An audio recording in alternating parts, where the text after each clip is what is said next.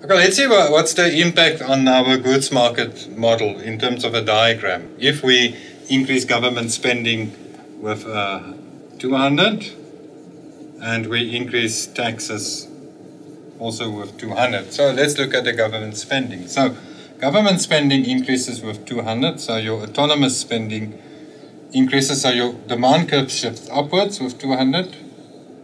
And we have a multiplier of 5 so we know that our income will increase with a thousand. Now if we look at taxes, what we also said, the increase here depends on the marginal propensity to consume times tax, and that we have calculated as 160. So this is by how much the spending here will decrease by 160.